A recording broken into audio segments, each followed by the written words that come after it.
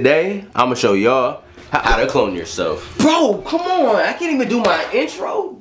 Damn. I'm Dre and this is 3 Minute Thursday where just like the title, I have 3 minutes to teach y'all whatever you want to learn. For today's tutorial, I'm showing you how to do the clone effect from the intro of this video. With that being said, I'm pushing for 5k subs before the end of the year. So if you're watching this and you haven't, make sure to subscribe. But anyways, let's get 3 minutes on the clock and get started. Now there are three very important things that I'll be going over in this video and it's essential that you follow along step by step without skipping because missing a single step could make this from a very eye-catching and clean effect to something very amateur. These three things are the planning stage, how to go about filming, and the last piece of the puzzle which is editing. The first thing you should be doing before even trying to pick up a camera is to plan. Now I know this seems boring, but it's very difficult to execute effects like this without some type of idea of lighting, how you want your clone to come in, or even something as simple as if they'll be interacting or not not. Your mind is literally the limit when it comes to content and editing. But even with the best ideas in the world, you're likely to fail without some type of plan.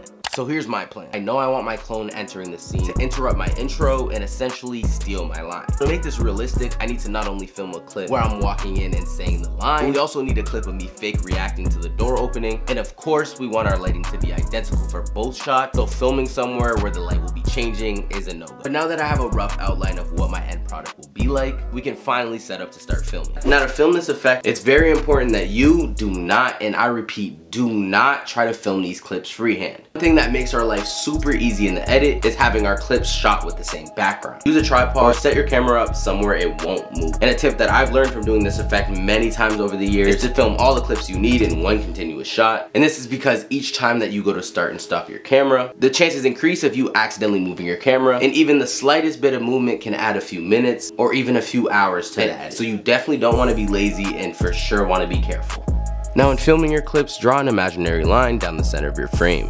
With the first clip, just try to stay in one half of the frame. In my case, I stayed to the right and tried my best not to move past the imaginary middle line. Now onto our second clip, go ahead and just do the opposite and try your best to stay away from the middle of the frame. And now that we have these, it's time to go edit and make some magic happen. For today's tutorial, I'll be using Premiere Pro to edit this effect, but y'all can use whatever editing software you feel comfortable with. But once we have our timeline open, go ahead and import our clips and cut them to your desired length. Now go ahead and grab our second clip and move it to the track above our first one. And obviously drag the clip over and set set the timing that you want. Now we're gonna go ahead and look for the masking tool and draw a straight line mask. Go ahead and try your best to line it up to the middle of your frame. And if our two clips were shot with the same background, then you should have made a successful clone. But in the cases that your clips don't line up like mine, you could always try lowering the opacity of the clip on top, then just try your best to line them up. But worst comes to worst, if you aren't able to make it work, I'd recommend just going back and filming your clips again. But now that you've learned these basics, there are plenty of ways that you can implement them into your videos. But unfortunately, now that your videos are fire, your photos have to be fire too. And you're in luck because last week's 3 Minute Thursday shows y'all exactly how to get this viral Brent Faiyaz filter on your photos in just under 3 minutes. If you're interested in that, make sure to go check that out, as well as my other content. And as always,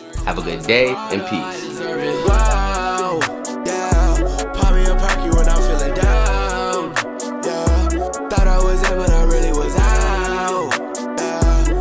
bitch, you love me, ain't fucking for clout.